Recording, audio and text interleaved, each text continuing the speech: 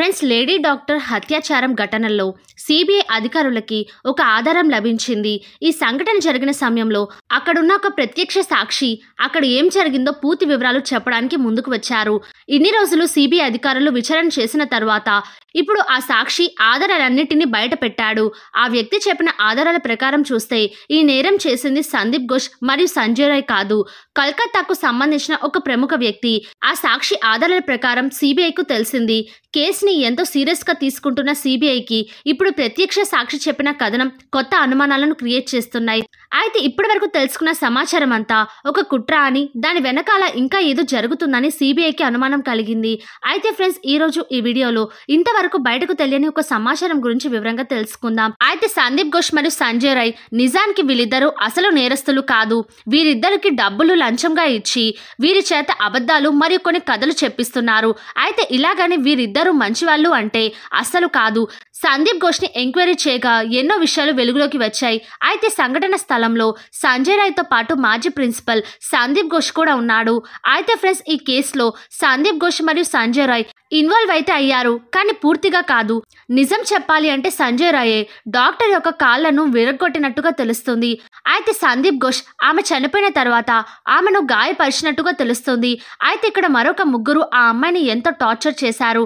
ఇక నాలుగో వ్యక్తి అక్కడున్న ఒక సాక్షి. అయితే ఆ వ్యక్తి గురించి ఎవరికీ తెలియదు. అతను ఆ కాలేజ్లో పనిచేసే ఒక వ్యక్తి. అయితే ఈ వ్యక్తి సిబిఐకి కొన్ని విషయాలు చెప్పాడు. కానీ సిబిఐ మాత్రం ఆ విషయాలను చాలా అఫీషియల్గా ఉంచింది. అయితే ఫ్రెండ్స్ సిబిఐ ఒక ట్రాప్ని సెట్ చేసింది. నేరస్తులందరూ వారికి వారే ఒప్పుకునేటట్టుగా ఒక ప్లాన్ వేసింది. అయితే ఫ్రెండ్స్ ఈ నేపథ్యంలోనే మీడియా రిపోర్ట్స్ ద్వారా ఏమని తెలుస్తుంది అంటే ఈ కేసులో నిజంగానే పెద్ద పెద్ద వ్యక్తులు ఇన్వాల్వ్ అయినట్టుగా తెలుస్తుంది. అయితే సిబిఐ వాళ్ళను అతి త్వరలోనే ఆధారాలతో సహా అరెస్టు చేయబోతుంది.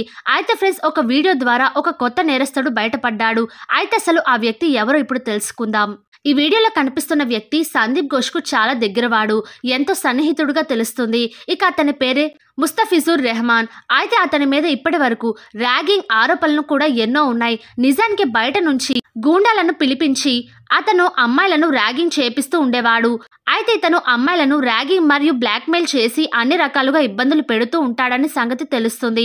అయితే ఇతని పాపాలన్నిటి గురించి సిబిఐకి సమాచారం అందింది. అయితే ఇతను ముస్తఫిజుర్ రెహమాన్ హాస్పిటల్లో అందమైన మహిళా డాక్టర్లను పిలిచి తన ప్రైవేట్ గదుల్లో అమ్మాయిలను బ్లాక్మెయిల్ చేసేవాడని తెలుస్తుంది. అది కూడా లైంగికంగా ఇబ్బంది పెట్టేవాడని కూడా తెలుస్తుంది. అయితే తను మూడేళ్ళ క్రితమే ఒక కాలేజ్ నుంచి డిగ్రీ తీసుకున్నట్లుగా తెలుస్తుంది. ఇక అతని చదువు పూర్తయిన తరువాత అతను కూడా ఇక్కడే ఆర్జికార్ మెడికల్ కాలేజ్లో ఒక హాస్టల్లో నివసిస్తున్నట్లుగా తెలుస్తుంది. అయితే అతను మహిళా డాక్టర్లను హాస్టల్ నుంచి గెంటేస్తామని బెదిరించి తన అవసరాలను తీర్చుకుంటాడనే విషయం తెలుస్తుంది. అతని మీద ఎవరైనా ఫిర్యాదు చేయాలని చూస్తే వారిని అన్ని రకాలుగా బెదిరిస్తూ తన అన్ని పనులు చేపించుకుంటూ ఉండేవాడు. అయితే ఇక్కడ అందరికీ ఒక సందేహం రావచ్చు. ఇతని మీద హెల్త్ డిపార్ట్మెంట్ వాళ్ళకు ఎందుకు కంప్లైంట్ చేయలేదు అని. అయితే తను అసలు మహిళా డాక్టర్లను ఏ విధంగా బెదిరిస్తూ ఉండేవాడంటే వారి యొక్క రిజర్వేషన్ సర్టిఫికేట్ వారు ఎప్పటికీ పొందకుండా చేస్తామని బెదిరించేవాడు. ఈ విధంగా బెదిరిస్తూ వారందరినీ కంట్రోల్లో ఉంచుకునేవాడు. అందుకే స్టూడెంట్స్ అందరూ అతని మీద కంప్లైంట్ చేయడానికి భయపడేవారు.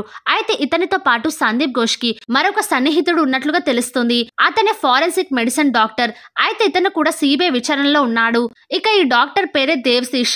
అయితే ఇతన్ని ఆర్జికార్ మెడికల్ కాలేజ్తో ఎలాంటి సంబంధం లేదు.